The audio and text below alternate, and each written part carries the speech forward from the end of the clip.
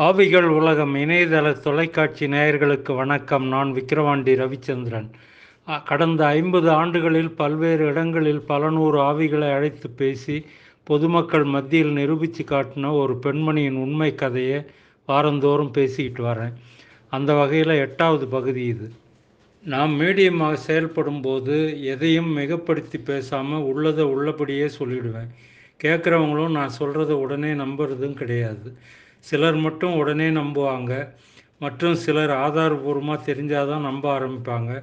சிலர் வந்து கடைசி வரலும் நம்பாமே இருப்பாங்க அப்படின்னு ஆரம்பிக்கிறார் எஸ்திலா ராபர்ட் என்ற பெண்மணி. நான் சிறப்பாக செயல்படுறதா அனைவரும் நினைக்கிறதுனால தான் என்னை காண்பதற்கு இவ்வளோ பேர் வர்றாங்க. நான் சொல்கிறது சரிதானா அப்படின்னு என்னை பரிசோதிக்கிறதுக்கான நிகழ்ச்சிகளும் உண்டு. அதை பற்றியும் உங்களுக்கு சொல்லணும். மான்செஸ்டர் நகரத்திலிருந்து ஒரு பெண் என்னை சந்திக்கணும்னு அனுமதி கேட்டிருந்தாங்க.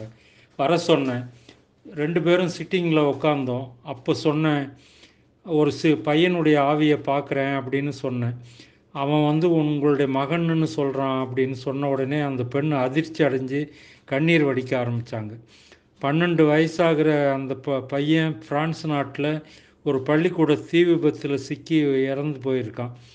அவன் வந்து தன் அம்மாவை தொ தொடர்பு கொண்டான் அப்படின்னு தெரிஞ்ச உடனே அந்த அம்மா ரொம்ப நிம்மதி அடைஞ்சாங்க. என் மகன் ஆவி உலகத்தில் நிம்மதியாக இருக்கான்றதே எனக்கு மகிழ்ச்சியாக இருக்குது. அவன் வந்து என்னை பார்க்குறதுக்கு வந்தான் அப்படின்றது சந்தோஷமாக த இருக்குது எனக்கு அப்படின்னு சொல்லி ரொம்ப ஆழ்ந்து போயிட்டாங்க அவங்க. இந்த சம்பவம் ந நிகழ்ந்து சில மாதங்களுக்கு பிறகு ஒரு ஆணும் அவர் மனைவியும் என்னை காண வந்தாங்க.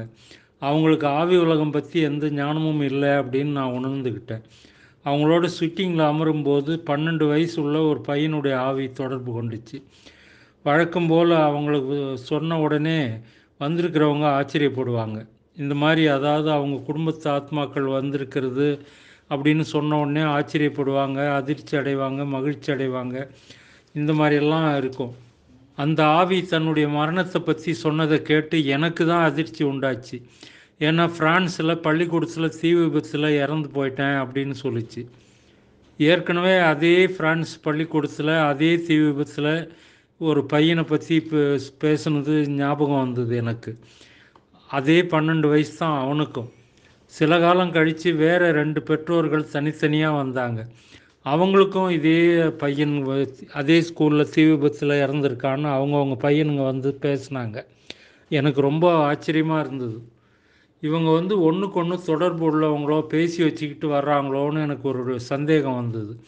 என்னுடைய செக்ரட்டரி மூலமாக அவங்கள பற்றி விசாரித்தேன் அவங்க ஒரு நாலு பேருமே நாலு மூலையிலேருந்து வந்திருக்காங்க. ஒருத்தருக்கு ஒருத்தர் அறிமுகமானவங்க இல்லை அப்படின்னு தெரிய வந்தது எனக்கு. பல்வேறு வகையான மக்கள் பல்வேறு விதமான காரணங்களை முன்னிட்டு என்னை காண வர்றது உண்டு. பல முறை என்னை சந்தித்தவங்களும் உண்டு. ஆவிகள் பற்றிய ஞானம் இல்லாமல் வர்றவங்க உண்டு. இப்படி புதுசாக வர்றவங்களாகட்டும் ஏற்கனவே வந்தவங்களாகட்டும் ஆவிகளை பற்றிய விழிப்புணர்வை முதல்ல ஏற்படுத்தி கொள்ளணும்.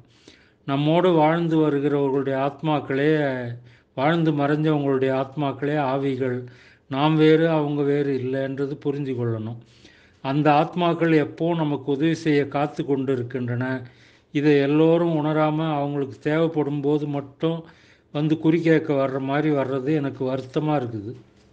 ஆவிகள் பற்றியும் ஆவி உலகம் பற்றியும் ஆவிகளுடைய உண்ம உன்னதமான நோக்கம் மேன்மையான செயல்கள் பற்றி அறிந்து கொள்வது அவசியம். இப்படி ஆவிகளை பற்றி முழுமையாக அறியறது நம்முடைய வாழ்க்கையினுடைய தலையாய கடமை. ஒவ்வொருத்தரும் உணர்ந்து கொள்ளணும் அறிந்து கொள்ளணுன்றது நான் நினைக்கிறேன். விருப்பப்படுறேன். பள்ளிக்கூடம் ஒன்றில் தலைமை ஆசிரியராக பணிபுரிகிற ஒருத்தர் ஆறு வருஷங்களுக்கு முன்னாடி என்னை சந்திச்சுட்டு போனார். பல துறை அறிவாளி அவர். மீண்டும் ஏழு மாதங்களுக்கு பி- முன்பு வந்தபோது என்னை சந்திக்க வந்தபோது அவருடைய வாழ்க்கையே சோகமாக மாறி இருந்தது அவர் எல்லாமே தலைகீழ மாறி இருந்தது காரணம் அவருடைய மனைவி ஏலியும் மகன் ரோஜரும் வெள்ளத்தில் அடிச்சுக்கிட்டு போய் இறந்துட்டாங்க. அந்த தலைமை ஆசிரியருக்கு ஆவிகளை பற்றி அவ்வளோவா தெரியாது. தெரிந்து கொள்ளணுன்றது விருப்பப்பட்டு சில புத்தகங்களை வாங்கி படிச்சிருக்கார். ஆனால் அந்த புத்தகமெல்லாம் பயமுறுத்துகிற மாதிரி இருந்தது. பல சந்தேகங்களை அவருக்கு உண்டு பண்ணிடுச்சு. அதனால் அவங்கள அந்த புத்தகங்களெல்லாம் தூக்கி போட்டு என்னை சந்திக்க வந்திருந்தார். நான் தான் ஆவிகளை பற்றி அறியணும் அப்படின்னு சொன்னார். தன் மனைவி குழந்தை இறந்ததை பற்றியும் தெரிந்து கொள்ளணும் அப்படின்றது அந்த தலைமை ஆசிரியருக்கு முழுமையான ஆவிகளை பற்றி தெரியணுன்ற ஆர்வம் இல்லை. தன் குடும்ப உறுப்பினர்களை ப- பற்றி தெரிஞ்சுக்கிட்டா போகிறோம் அப்படின்ற ஒரு எண்ணம் தான் இருந்தது. பாதி விருப்பத்தின் காரணமாகவும் பாதி அவருடைய நண்பர்கள் தூண்டுகளாகவும் வந்திருக்கிறது நான் புரிந்து கொண்டேன். அவருக்கு நான் ஆவிகளை பற்றி சொல்கிறது வேஸ்ட்டுன்னு எனக்கு தெரிஞ்சு போச்சு. ஏன்னா அதுக்கு நிறைய தியாகங்களை செய்யணும் நிறைய சுயமுயற்சி நம்பிக்கை தன்னம்பிக்கை வேணும். முதல்ல அவர் மனைவி மகன் ஆவிகளை வரவழைக்க நான் முயற்சி செய்தேன். சிட்டிங்கின் போது மகனுடைய ஆவி பேசியதை கேட்டு மெய் சிலிர்த்தார். தனக்கு ஏற்பட்ட அனுபவத்தை பற்றி அவர் பின்வருமாறு குறிப்பிட்டார். அந்த தலைமை ஆசிரியர் சொல்கிறாரு நான் குழப்பமான மனநிலையோடு தான் அமர்ந்திருந்தேன். இதுவரையில் இந்த உலகத்து மனிதர்களோட பேச்சை மட்டும் கேட்டிருந்த நான் முதல் தடவையாக இன்னொரு உலகத்தில் இருக்கும் ஆத்மாவுடைய பேச்சை கேட்டேன். அது என் மகன் ரோஜர் தான் அப்படின்றது நான் அறிந்து கொண்டேன்.